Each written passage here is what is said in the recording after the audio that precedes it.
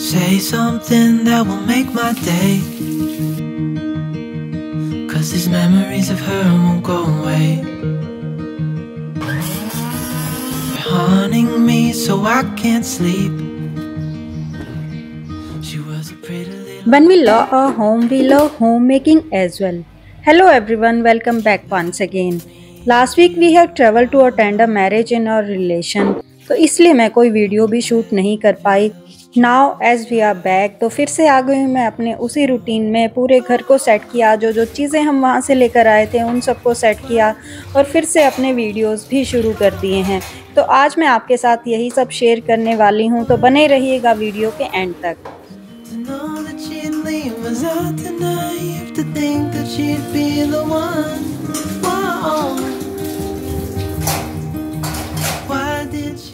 And I was thinking कि हमारे यहाँ गुड़गांव में ही सबसे ज़्यादा ठंड है सीज़न की, इस बार बट आई वॉज़ रॉन्ग मेरे होम टाउन में जीन सिटी में इतनी ज़्यादा ठंड थी we can not even bear it बहुत ज़्यादा ठंड थी, सहन ही नहीं हो रहा था।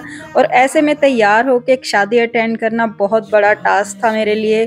बट मैंने कुछ पिक्चर्स भी ली और उनको इंस्टाग्राम पर शेयर भी किया है। अगर आप लोग मुझे वहाँ पर फॉलो करते हैं तो आपने देखा होगा। तो नाउ वी आर बैक और जैसे ही घर में एंट्री करती हूँ तो सबसे पहले मेरा काम होता है कि जितनी चीज़ें मैं तुरंत ही सॉर्ट आउट कर पाऊँ, उन सबको कर दूँ। क्योंकि खाने पीने की कुछ ना कुछ चीज़ें हम ऐसे लेकर आते हैं, अगर उनको एक दिन भी आप इसी तरह पैक छोड़ देते हैं तो ख़राब हो जाती हैं। तो थोड़ा सा आलस किए बगैर एक बार चीज़ों को तुरंत ही सॉर्ट आउट कर देती हूँ। मुश्किल से हाफ़ एन आवर लगता है मुझे जितने भी मैले कपड़े हैं, धोने वाले हैं, क्योंकि मैं वहाँ पर कुछ भी वॉशिंग वगैरह नहीं करती हूँ, सब पैक करके लेकर आती हूँ अपने साथ। तीन से चार दिन के लिए हम लोग गए थे और फिर आके उन सबको धुलना, कपड़ों को, खाने पीने की चीज़ों को सेट करना, वही सब चलता है। और क्या क्या चीज़ें मैं वहाँ से लेकर आई हूँ क्या क्या शॉपिंग मैंने की है, वो सब भी मैं आपके साथ शेयर करूँगी। Stop. Can't believe I live in your thoughts. I think about you all the time, morning, evening, and midnight. Such a wonderful delight. Forgo, give up everything that I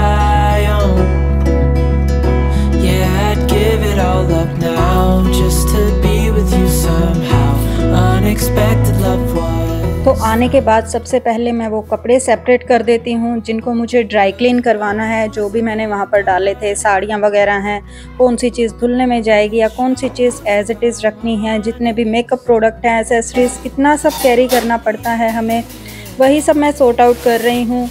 और जो मिठाइयाँ शादी से लेकर आए हैं इवन आप सबको ही पता होगा, सभी के यहाँ इस तरह की शादी में मिठाइयाँ मिलती हैं। मुझे ये चाय के साथ स्पेशली बहुत पसंद है। और इतना ज़्यादा प्यार भेजते हैं ना घर वाले हमारे साथ, वो प्यार अभी हमारे मोटापे के रूप में दिखने लगा है। पूरी सर्दियों इतनी तरह की चीज़ें खाई हैं कि फिर से इतना ज़्यादा वेट गेन हो गया है तो अब उस पर भी वर्क करना शुरू करना है जल्दी से। और साथ ही मैं लेकर आई हूँ गाँव से लस्सी। किस किस को पता है ये लाल वाली लस्सी? कौन कौन इसे पसंद करता है? प्लीज़ कमेंट सेक्शन में ज़रूर बताना। जो लोग हरियाणा पंजाब से मुझे देख रहे हैं वो ज़रूर रिकॉग्नाइज़ कर पाएँगे। इसको बहुत ज़्यादा टेस्टी लगती है ये वाली लस्सी मुझे.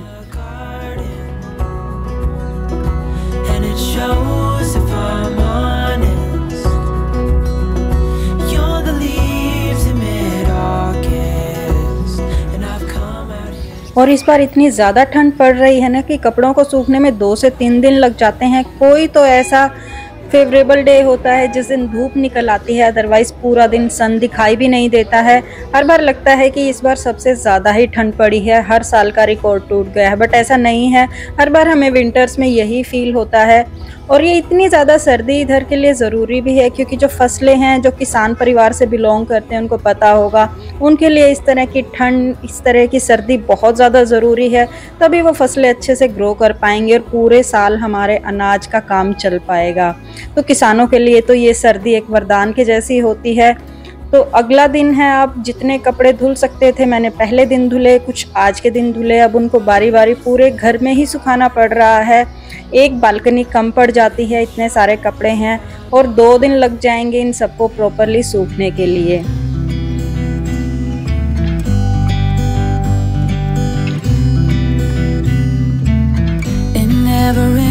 California. The sun is always shining bright. People are smiling, making plans, hiding behind their shades, and you're doing the same.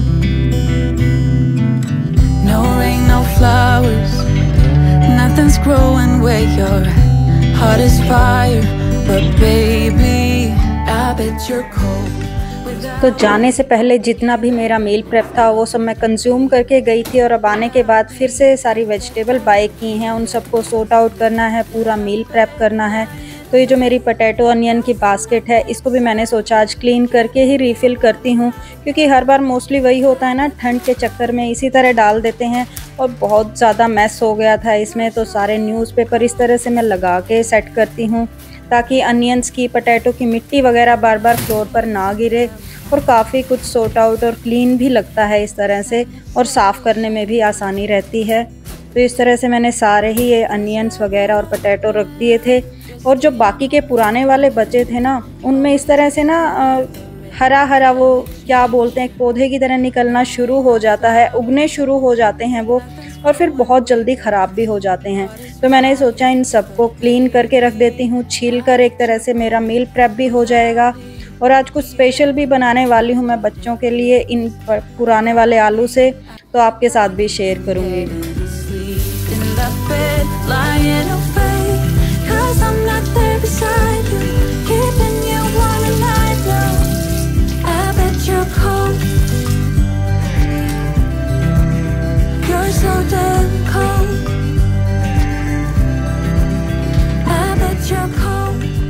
जब भी कहीं से आओ ना वापस तो इतना सारा काम बढ़ जाता है। बट वही है, एक बार पूरा एक दिन आप लगाकर पूरा घर सेट कर ले तो पूरा वीक आपका बड़े अच्छे से निकल जाता है।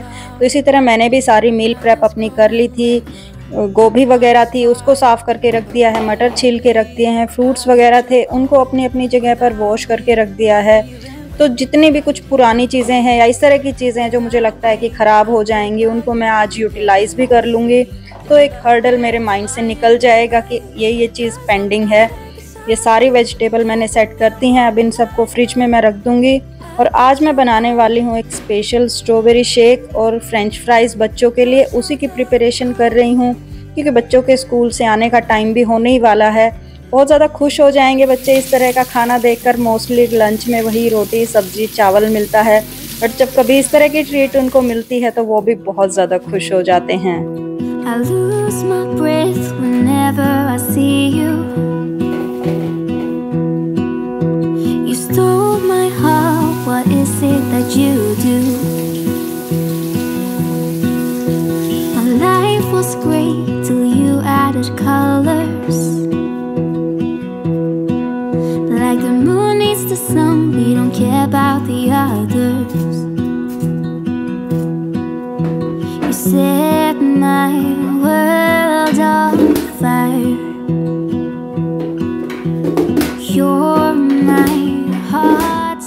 यहाँ पर फ्रेंच फ्राइज़ के लिए मैंने बारीक बारीक इस तरह से पटेटो चॉप कर लिए हैं। बहुत छोटे छोटे थे ये तो इसलिए छोटे छोटे ही टुकड़े बने हैं।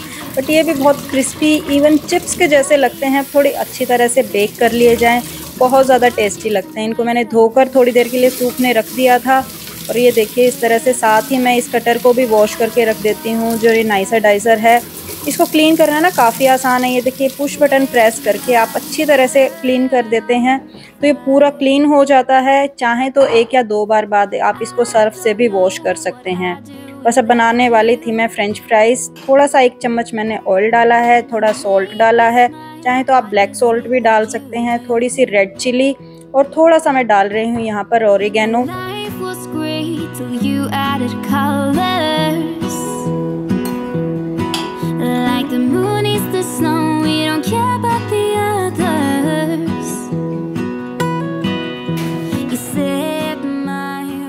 तो वो जो मैं आपको बता रही थी ना, इस बार मैंने वो पार्चमेंट पेपर भी बाय कर लिए हैं। एयर फ्रायर में अगर इनको लगाते हैं ना तो बार बार वॉश करने की दिक्कत नहीं रहती है। एक तरह से बटर पेपर के जैसे होते हैं बास्केट सी बनी होती है। इसमें डाल के आप चीज़ों को एयर फ्राई कर ले तो आपको बार बार वॉश नहीं करना पड़ता है, क्योंकि अंदर की जो नॉन स्टिक लेयर है ना एयर फ्रायर की वो ख़राब हो जाती है अदरवाइज़ तो इसमें अब मैं डाल दूँगी। और 200 डिग्री सेल्सियस पर मैंने इनको तकरीबन 20 मिनट तक बेक किया था I think 18 to 20 I don't remember और बड़े अच्छे से काफ़ी क्रिस्पी वाले फ्रेंच फ्राइज बनकर तैयार हुए थे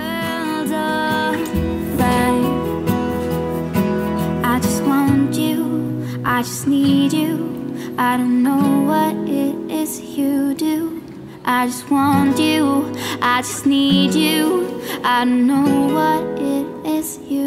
और जब तक फ्रेंच फ्राइज बन रहे थे, उस दौरान मैं बना रही थी स्ट्रॉबेरी शेक मैंने स्ट्रॉबेरीज़ पहले ही वॉश करके रख ली थी।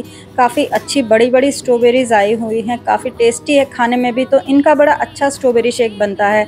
अदरवाइज़ काफ़ी खट्टी होती है ना तो एक खट्टापन आता है। आपको ज़्यादा शुगर ऐड करनी पड़ती है। तो इस बार मैंने बहुत ही कम शुगर इवन टू स्पून शायद ये देसी खान हम यूज़ करते हैं तो वही मैंने ऐड की है।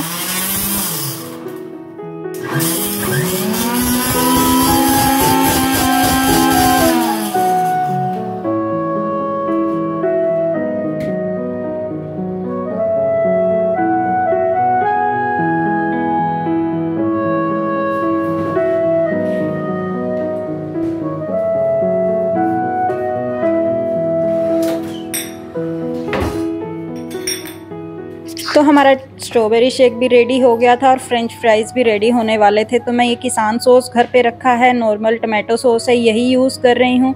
मोस्टली हम यही यूज़ करते हैं और अब अपना टेस्टी सा लंच एंजॉय करेंगे। बच्चे भी स्कूल से आ गए थे, कपड़े वगैरह चेंज कर रहे थे and they are so happy and excited for this kind of lunch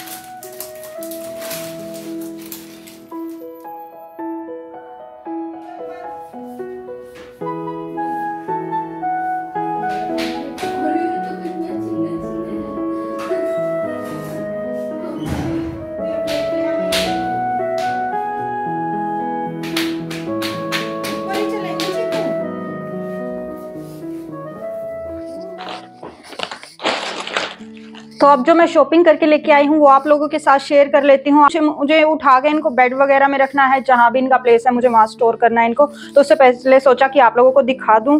तो ये मैंने खरीदी है एक नई कार्डिगन तो अभी वैसे जैसे विंटर का सेल सीज़न शुरू हो गया ना तो थोड़ी सेल से खरीदा I think twenty thirty percent था। तो ये देखिए, इसका कलर बहुत ही सिंपल सोबर सी है। ऐसा नहीं है कोई चटक कलर है तो इसका कपड़ा मैं आपको दिखाती हूँ। पास से बहुत ही सॉफ्ट है। और इस तरह की जब हम कार्डिगन्स खरीदते हैं ना तो इन पे रुआ वगैरह आने की टेंशन ज़्यादा नहीं रहती। तो इसलिए भी मैं थोड़ा सा कॉस्टली परचेज करती हूँ। आई थिंक ये टू थाउज़ेंड के अराउंड आ गई है। बट इनका क्या है ना लाइफ टाइम वारंटी रहती है, अगर हम प्रॉपरली केयर करके चले तो। तो ये बड़े अच्छे से चल जाती हैं। तो ये कार्डिगन ली है मैंने नहीं क्योंकि अभी मैं शादी में गई थी जैसा कि आप लोगों को पता है तो थोड़ा ट्रेवल किया था हमने, और ये तो वही दुपट्टा है मेरा। ये कुछ सूट्स हैं जो मुझे शादी से मिले हैं, और कुछ मैंने खुद भी परचेज किए हैं, वो भी आप लोगों के साथ शेयर करूँगी अभी। So this is the suit ये देखिए आई थिंक आपको कलर प्रॉपर दिख रहा होगा। ये लाइट मस्टर्ड शेड है। और ये इसका पैटर्न है। तो अब ये सूट का ना डिज़ाइन कैसा मैं सिलवाऊँगी, क्या कुछ रहेगा, वो मैं आपके साथ सिलने के बाद ज़रूर शेयर करूँगी। बट फ़िलहाल ये इस तरह से है, ये जो पीछे का कपड़ा है, ये पेंट का कपड़ा है। विंटर का सूट है, काफ़ी अच्छा कपड़ा है। और इसका जो स्टोल है ना, वो मुझे बहुत पसंद आया। ये देखिए शोल है एक तरह से स्टोल नहीं कह सकते हैं।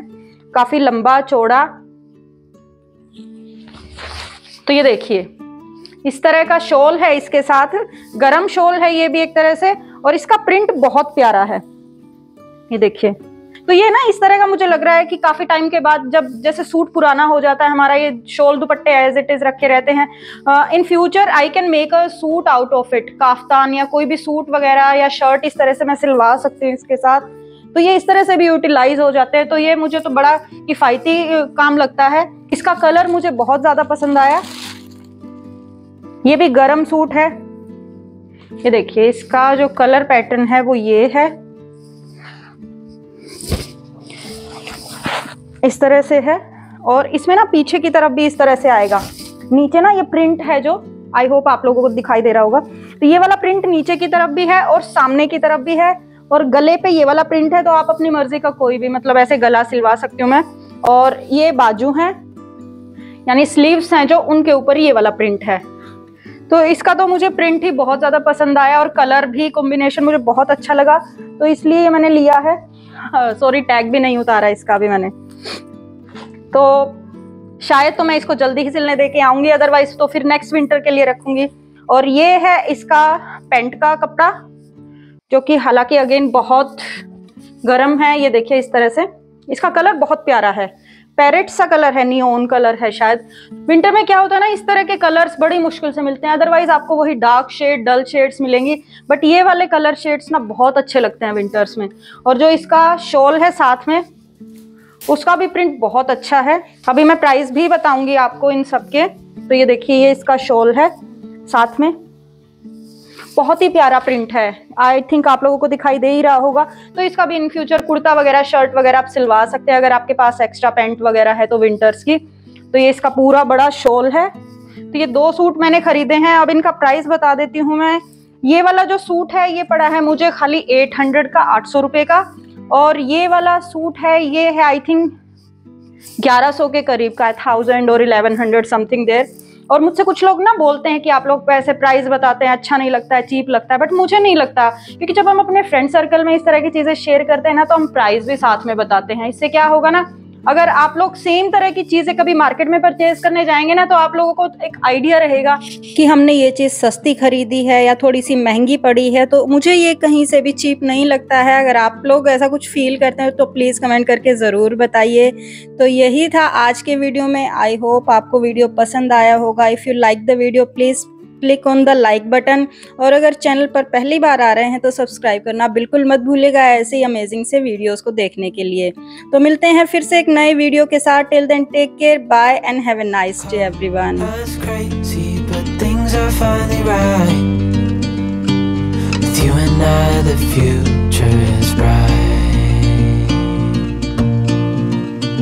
Ah.